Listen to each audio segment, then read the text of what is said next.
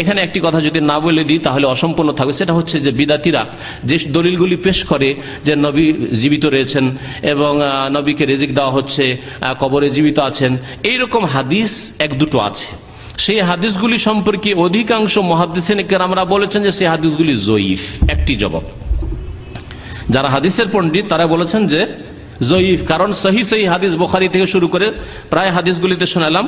আর শেষ হাদিসটি যেটা শোনালাম, ইবনে আব্বাস রাজি আল্লাহ তালার যে আশুরা রোজা সম্পর্কে যে আগামী বছর আর আসার সুযোগ হইল না, যে নয় তারিখ, দশ তারিখ তার আগে রসুল্লাহ অফাত থেকে সেটা আবু দাউদের হাদিস। তাহলে হাদিসগুলি বোখারি, মুসলিমের, আবু দাউদ, তিরমিজি, বিভিন্ন সহি হাদিসের সব উল্লেখ করলাম। আর এই যে হাদিসগুলি রয়েছে, এক দুটি যাতে রয়েছে যে নবী সাল্লাম জীবিত রয়েছেন কবরে, তাকে রিজিক দেওয়া হচ্ছে, সেই হাদিসগুলি সম্পর্কে এক শ্রেণির মহাদিসরা বলেছেন যে হাদিসগুলি ভিত্তিহীন, সহি নয়। এক জবাব। দ্বিতীয় জবাব আল্লাহ নাসুদ্দিন আলবানী রহমতুল্লাহ আলাই তার গবেষণা বলেছেন যে হাদিসগুলি হাসান অথবা সাহি। বিভিন্ন সূত্র থেকে আসায় কারণ বেশ কিছু সূত্র আছে, বলছেন যে জয়ীফ সেগুলি বা ভিত্তিহীন। কিন্তু বিভিন্ন সূত্র থেকে আসা, আর কিছু সূত্র আছে সেগুলি দিয়ে তিনি বলেছেন হাদিসগুলি হচ্ছে হাসান এবং সিলসিলা সাহিহা, যে তার সিরিজ রয়েছে, তাতে তিনি হাদিসগুলি নিয়ে এসেছেন। কিন্তু হাদিসগুলি নিয়ে আসার পরে সেই হাদিসগুলির ব্যাখ্যা সম্পর্কে তিনি কি বলেছেন তা আমি এক দুই মিনিটের মধ্যে আপনাদেরকে শুনিয়ে দিই। তিনি বলছেন যে, আল আম্বিয়া সালাতুল্লাহ আলহিম আহিয়াউন ফি কবুর ইউসাল্লুন একটি হাদিস।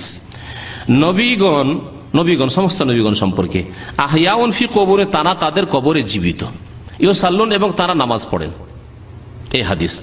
বলছেন, হাদিস সহি। তারপরে বলছেন, ওয়া আলাম, জেনে রাখো, আন্নাল হায়াত আল্লাতি আসবাতা হাজাল হাদিস। যে হায়াত, এই হাদিস প্রমাণ করে যে নবীরা হায়াতে আছেন। লিল আম্বিয়া আলহিমুসালাম ইন্নামা হিয়া হায়াতুন বারজাখিয়া। সেটা হচ্ছে, কোন হায়াত? বারজাখি হায়াত। বারজাখি জীবন মানে পর লৌকিক জীবন, পরলৌকিক জীবন। লাইসাত মিন হায়াতি দুনিয়া ফিসাই দুনিয়াবি জীবনের কোনোটাই নয়। মনে করবেন যে না, দুনিয়াবি জীবনের মতো তার সামনে স্ত্রীদেরকে পেশ করা হচ্ছে এবং যেমন বিদ্যার্থীরা বলে থাকে যে তার স্ত্রী মিলন হচ্ছে, তারপরে খাওয়া দাওয়া হচ্ছে, খাওয়া দাওয়া হলে তাহলে পেশাব পায়খানা হচ্ছে, ইত্যাদি। না, এসব কিছুই নয়। দুনিয়ার খাবারে যেসব হয়ে থাকে আর সেসবের কিছু নাই ওয়ালিজালিকা সুতরাং, ওয়াজাবাল ইমান ও বেহা দু নাজার বিল আমসালিল্লাহা এর প্রতি আমরা ইমান রাখব। যে নবী আলাইহি ইন্তেকালও হয়ে গেছে, দুনিয়ার হায়াত থেকে তাহলে কি হয়ে গেছে? ইন্তেকাল হয়ে গেছে, আর বারজাখি জীবনে তার হায়াত আছে। শুধু তার হায়াত না, আল্লাহ পাক কোরআনে বলেছে শহীদদের হায়াতের কথা। ওয়ালা তাকুল লিমান ইউকতালু ফি সাবিলিল্লাহ আমওয়াত বাল আহইয়া। যারা আল্লাহ রাস্তায় নিহত হয়েছেন, শহীদ হয়েছেন, তাদেরকে তোমরা কি বলিও না? মৃত বলিও না মানে তোমাদের মতো মৃত নাই, বরং তারা কি রয়েছেন? হ্যাঁ? আহিয়া জীবিত রয়েছেন, তাহলে আল্লাহ পাক হায়াত তাদের প্রমাণ করলেন কোরআনে কেরিমে। আর আল্লাহ পাক আবার মৃত বলছেন, প্রত্যেকে মারা যাবে, তো দ্বন্দ্ব আছে কোরআনে কারিমে নাকি? তাহলে দ্বন্দ্ব নেই। যেখানে বলা হয়েছে, কুল্ল নাফসিন জায়কাতুন প্রত্যেক নাফ তার মধ্যে শহীদরাও মারা গেছে, দুনিয়ার হায়াত শেষ হয়ে গেছে। পরকালের জীবন রয়েছে, বরজাখি জীবন শহীদগণের রয়েছে, আর রসুল্লাহ সবচাইতে শ্রেষ্ঠ শহীদ। মনে রাখবেন রসুল্লাহ সাল্লাম সবচাইতে উত্তম শহীদ। তারও হায়াত রয়েছে, কিন্তু বরজাখি হায়াত রয়েছে আম্বিয়াই কেরামদের বরজাখি হায়াত রয়েছে, দুনিয়াবি হায়াত নয়। এটা আমরা বিশ্বাস করব, কিন্তু এর দৃষ্টান্ত পেশ করব না, আমাদের মতো, কার মতো, দুনিয়ার মতো দুন হাজার বিল আমসালিল্লাহা। ও মহাবেলাতে তাকিফেহা, তার ধরন সম্পর্কে আমরা কোন রকমের অপ অপ যেটা প্রয়াস চেষ্টা করব না আমরা।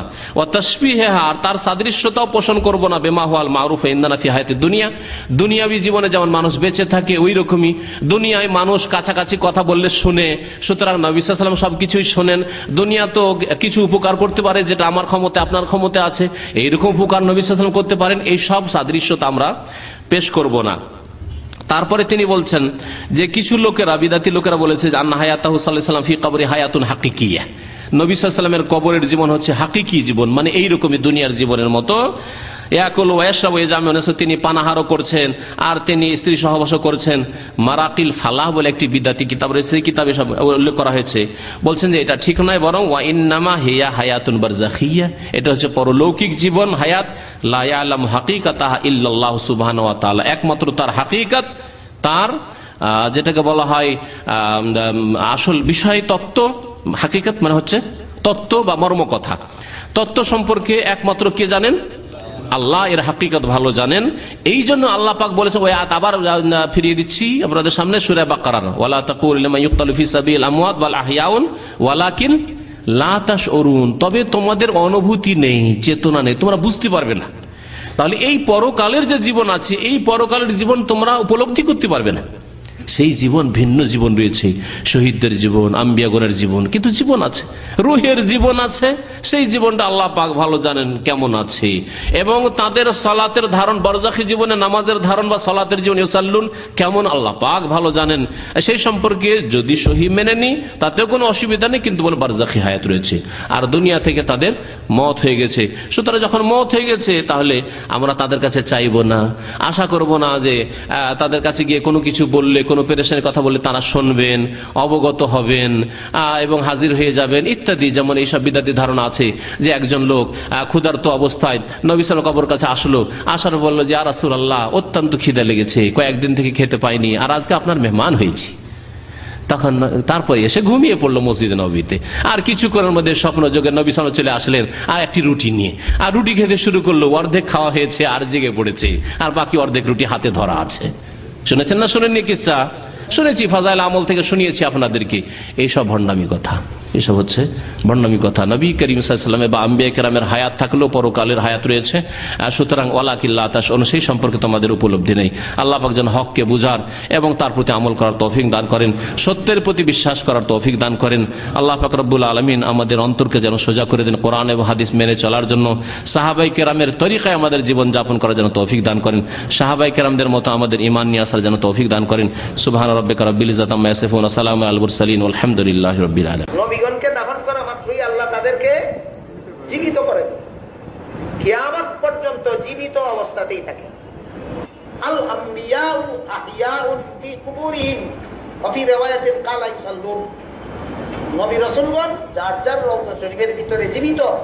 এটা আমরা বিশ্বাস করি। যে সমস্ত বিশ্বাস করে না। নবীর রওজা শরীফের কাছে গিয়া নবীকে উদ্দেশ্য করে কোনো কথা বললে নবীর কাছে কিছু চাইলে বলে শিরিক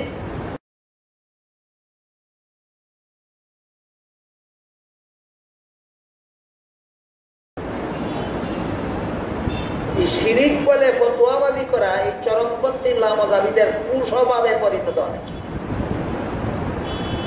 চোখে রঙিন চশমা লাগাইলে যেমন জগৎটাকেই রঙিন দেখা যায় এদের অন্তরের চোখে কুহুরি আর সিরিকির চশমা লাগাইছে এরা সব কিছুকেই কুহুরি এবং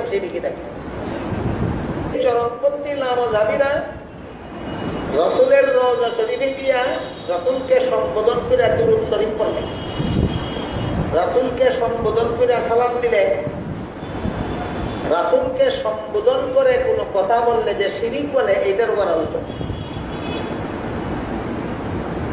রাসুলকে, আসসালাতু আসসালামু আলাইকা ইয়া রাসূলুল্লাহ। দুরুদ এবং সালাম আপনার প্রতি। ওগো আল্লাহর রাসূল? ওগো আল্লাহর রাসূল, আমি আপনার কাছে আপনার সুপারিশ চাই। এই কথাগুলি বললে বর্তমান সমাজে একদল চরমপন্থী লামা দাবি আছে যে এই কথাগুলি নজরে গিয়া বললে মুর্শিদ হয়ে যাবে। কেন? মরা রসুলের কাছে তুমি কি চাও? আল্লাহ চিন্তা যা চাইতার আল্লাহর কাছে চাও। এইটা হইল এদের ভ্রান্ত মতবাদ। আমরা রওজা শরীফে গিয়া রসুলের কাছে যা কিছু চা বুঝে থাকতে বলুন, মরা রসুলের কাছে চাই না জিন্দা রসুলের কাছে চাই? এটা হলো আহলে আমাদের দেশে গত কিছুদিন আগে একটি বাহাস হয়েছে হায়াতুল নবী সম্পর্কে। ওই বাহাসে মানে যারা বিশ্বাস করে যে রসুল সালাম হায়াতুল নবী তারাও মানে কিছু কোরআনের আয়াত দলিল দিয়েছে। দলিল দিয়ে বলে যে রসুল সাহেব মারা গেছে কিন্তু তারা যে বিশ্বাসগুলি করে, যেমন যখন ইন্ডিয়াতে মানে ইয়ার যে মসজিদ বানানো হয়েছে সরি মাদ্রাসা মানে ওই মাদ্রাসার দাগ কেটে গেছে রসুল সাল্লাহ ইসলামে এটা, এগুলি এবং মানে তাবলিক জামাতের মধ্যে কিছু তাবলিক জামাতের যে ফাজাইলে হজ ওই বইয়ে কিছু মানে ইয়ে আছে যে রসুল সাল্লাহ ইসলামের কাছে কোনো ব্যক্তি রুটি চাইছে তাকে রুটি দিছে তার কাছে সাহায্য ওখান থেকে হাত বের করে দিছে। তো এগুলিকে রসুল সাল্লাহ সাল্লামের মজাদা মনে করে। তো এটা কোরআন হাদিসের আলোকে কতটুকু সঠিক আচ্ছা, এগুলিকে আচ্ছা। মজাদা মনে করে? কিছু মানুষ রসুল সাল্লাহ সাল্লামকে মারা গেছেন এটা বিশ্বাস করে। প্রশ্নটির সারাংশ মারা গেছেন এটা বিশ্বাস করে। কিন্তু ওই সকল লোকরাই আবার বলে থাকেন যে আমাদের রসুল সাল্লাহ সাল্লাম দেওবন্দ মাদ্রাসা যখন তৈরি হয়েছিল, তখন রসুল সাল্লাহ সাল্লাম এসে লাঠি দিয়ে দাগ দিয়ে গেছে আবার ওদেরই বই পুস্তকে পাওয়া যায় যে তারা মদিনায় এসে সালাম দিল, রওজাতে তো রসুল সাল্লাম হাত বাড়ালেন। হাত বেড়ে করে মুসাফা করলেন অমুককে। আবার অমুক জায়গায় রসুল সাল্লাম এসেছিলেন। এই সকল কথা থেকে কি বোঝা যায়? রসুলকে মারা গেলেন না জীবিত আছেন? যদি তাদেরকে বলছেন যে তাহলে তো আপনারা ভাবছেন যে জীবিত বলছেন না এগুলো রসুল সাল্লামের মজাজা। কি বলছেন এগুলো রসুল সাল্লামের মজাজা। ভাই মজাজা কাকে বলা হয়? প্রথমে এটা জানা দরকার। মজাজা আজ থেকে। আজ মানে অক্ষম। অক্ষম হয়ে যাওয়া মজাজা এমন বিষয় যেটা আল্লাহ রাব্বুল আলামিন তার নবীদেরকে দেন যেটা স্বভাব স্বভাবের বিপরীত। সাধারণতের বিপরীত। স্বভাবের বিপরীত। মানে সাধারণত যে নিয়মে মানুষ মনে করেন হেঁটে যায়, দেখা গেল আকাশের উপরে হেঁটে উঠছে। এটা স্বভাবের বিপরীত না বিপরীত না? একজন মানুষ, একজন একজন লাঠি নিয়ে মানুষ, মানুষকে মারে, বাড়ি দেয় ইত্যাদি। লাঠিটা ছেড়ে দিলে সাপ হয়ে যায়। এটাকে কি বলা হচ্ছে? স্বাভাবিকের, স্বভাবের বিপরীত। তো স্বভাবের বিপরীত এমন জিনিস, এমন নিদর্শন, যেটা আল্লাহ রাবুল আলমিন নবীদেরকে দেন আম পাবলিক থেকে পার্থক্য করার জন্য। যদি তারা নবীর সঙ্গে তর্ক করে যে তুমি আর আমি বরাবর, তখন তাদেরকে এই মজেজার মাধ্যমে কি করা হয়? ও পারক করে দেওয়া হয়। এই জন্য তাকে মজেজা বলা হয়। তাহলে মজেজার প্রয়োজন কখন আছে ভাই? যখন রসুল সাল্লাহ সাল্লাম জীবিত আছেন এবং যে কোনো নবী জীবিত আছেন এবং তিনি তার উম্মতকে দাওয়াত দিচ্ছেন, এখন প্রয়োজনে তার কি আছে? মজেজা মজেজা প্রয়োজন আছে, কিন্তু মরে যাওয়ার পর কাকে মজেজা দেখাবে? এটা কেমন কথা? এক নম্বর।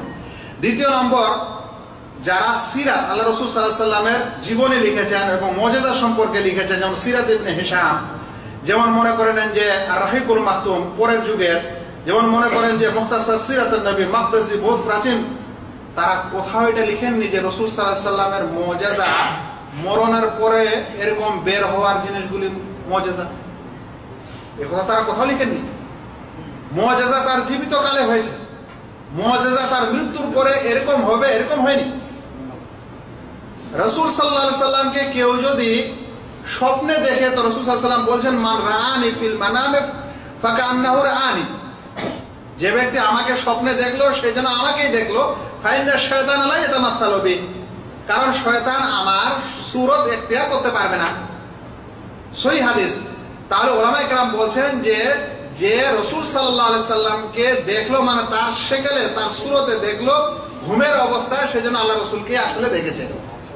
কিন্তু আল্লাহ রসুল সাল্লাহ সাল্লামকে অরিজিনাল অবস্থায় দেখা যাবে, কথা তো এই হাদিসে বলা হয়নি। স্বপ্নের কথা বলা হয়েছে। তারপরে মনে রাখবেন যে কোরআনের আয়াত আল্লাহ তালা বলছেন যারা মারা যায় তাদের ব্যাপারটা কি? তো বলছেন ওয়ামিন ওয়ারা ইহিম বারজাখুন ইয়াউমি ইউবাসুন। তাদের পিছনে একটা আর হয়ে যায় কেয়ামত পর্যন্ত। যারা মারা যায় তাদের তারা কি হয়ে যায়? এই জগৎ থেকে তাদের আর হয়ে যায় কখন পর্যন্ত? কিয়ামত পর্যন্ত। তাই রসুল সাল্লামকে স্বপ্নে কেউ দেখল আলাদা কথা। কিন্তু স্বয়ং রসুল সাল্লাম হাত বাড়িয়ে দিচ্ছেন। আর অমুক জায়গায় উপস্থিত হচ্ছেন আর দাগ কাটছেন, এটাকেই তো আসলে হায়াতুল নবী বলে। মানে রসুল্লাহ মারা যাননি। এবং এটাই তো প্রমাণ করে যে রসুল সাল্লাম কবর থেকে সবকিছু দেখছেন ও জানছেন। এবং সহজ সাহায্য সহযোগিতা করতে পারছেন। তাহলে মৃত্যু নবী আর জীবিত নবীর মধ্যে পার্থক্য কি হলো? যদি তাই হয়ে থাকে, তাহলে বিশ্বের সকল আল্লাহ রসুল সাল্লামের উন্মতের উপর যে অত্যাচার এই যুগে হচ্ছে, রসুল কেন এখন বের হচ্ছেন না? ওই কথা কি বলবেন? যে কবর থেকে বের হয়ে দেওবন্দে গেল তখন কবরটা কি খালি ছিল? ওই সময় যারা দরুদ পাঠ করেছিল, তারা কি খালি কবরে দরুদ দিয়েছিল? খালি কবরে কি বলে যে সালাম প্রেরণ করেছিল? তাহলে ভাই, এ সকল কেসা কাহিনী সত্যিকারে আলুসুন্নাওয়াল জামাতের না, আর না এ সকল কেসা কাহিনী মাধ্যমে কোনো কিছু মজেজার কোনো বিষয় বিষয় আছে, বরং সত্যিকারে একটা ভ্রান্তকর বিষয় আছে। রসুল করিম সাল্লাম তিনি মারা গেছেন, কবরে আছেন বারজাকি জীবনে। মানে এমন জীবন যেটা দুনিয়ার জীবনের মতো না। সেখানে তিনি আছেন। কেয়ামত পর্যন্ত থাকবেন।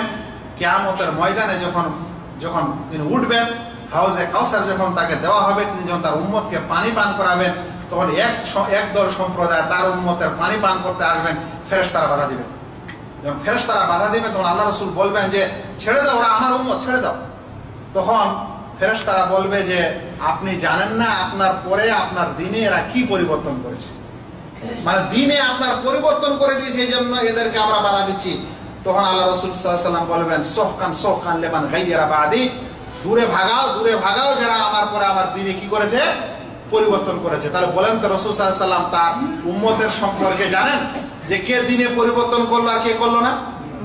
যদি তিনি জানতেন তাহলে কেয়ামতের দিনে ওদেরকে আগে থেকে বলতেন যে ঠিকই করছে ফেরেশতারা। বলছে তোরা আসতে দাও। কারণ তিনি জানেন না যে এরা দিনে কিছু পরিবর্তন করেছে কি? করেননি। সেই কারণে দুনিয়ার অবস্থা কবরে যাওয়ার পর কোন ব্যক্তি জানেন না এমনকি রসুলেরা পর্যন্ত জানেন না।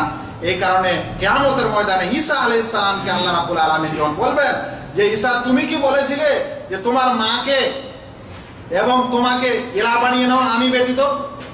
তখন সেই উত্তর দেওয়া হয়েছিল এবং সেই উত্তরে ঈসা আলি সাল্লাম বলেছিলেন যে, আমি যখন পৃথিবীতে ছিলাম, হে আল্লাহ, তখন আমি তো তাদের অবস্থা জানতাম। ফালাম্মা তাওয়াক্কায়তানি যখন তুমি আমাকে ওফাত দিয়েছ, তখন পৃথিবীতে কি হয়েছে আমি জানি না। আল্লাহ তালা যেন বুঝাতে